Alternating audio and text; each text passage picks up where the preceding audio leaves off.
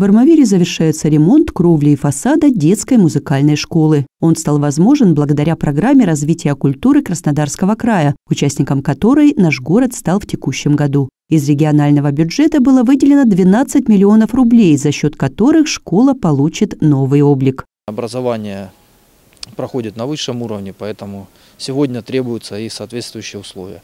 Хочу отметить, что в школе обучается почти 500 э, молодых людей по направлениям, музыкальным направлениям, фортепиано, хоровое пение, вокал, э, и под скрипка, и по другим музыкальным направлениям. Работы начались в сентябре и движутся ускоренными темпами. Подрядчики уже заменили кровлю, заканчивают ремонт откосов и отделку фасада. В школе заменят часть дверей. При составлении проекта дизайнеры выбрали яркие краски, что порадует детвору. В отделке использованы тематические элементы. Здание украсят клавиши фортепиано. Сегодня подрядчик завершает данные работы. Мы уже можем видеть практический результат.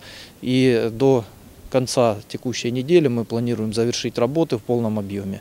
И наша музыкальная школа станет обновленной, с обновленным фасадом. Э, соответственно, это привлечет новых учеников в данную школу, ну и создаст благоприятные условия для тех, кто уже занимается в школе.